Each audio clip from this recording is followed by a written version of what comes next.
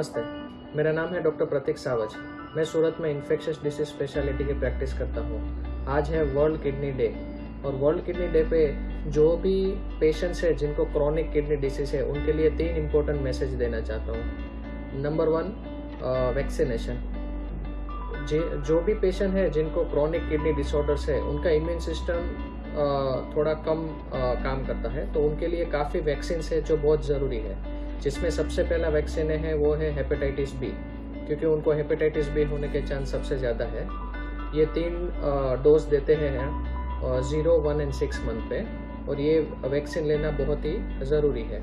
दूसरा वैक्सीन है, वो है न्यूमोकोकल वैक्सीन क्योंकि क्रॉनिक किडनी डिसीज पेशेंट्स को न्यूमोकोकल निमोनिया होने का रिस्क बहुत ज़्यादा है। And third vaccine is influenza vaccine जो हर साल जून जुलाई में लेना पड़ता है।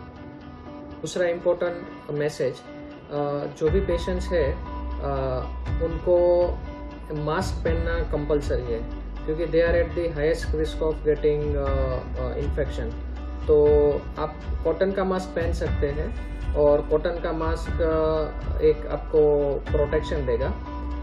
मास्क सिर्फ़ कोविड के लिए नहीं, लेकिन दूसरे काफ़ी सारे लंग इन्फेक्शन है वायरल इन्फेक्शन है, जिनके सामने भी प्रोटेक्शन देता है। और थर्ड है कि आपको कभी भी अगर कोई माइनर इलनेस होता है, जैसे कॉमन कोल्ड है कफ है डायरिया है तो आप directly over the counter drug direct medical store से दवा ना लें। आपके फिजिशियन और आपके किडनी स्पेशलिस्ट को कंसल्ट करें, क्योंकि काफ़ी ऐसी दवाएँ हैं जिनका डोज आपके क्रिएटिनिन देख के डिसाइड करना पड़ता है।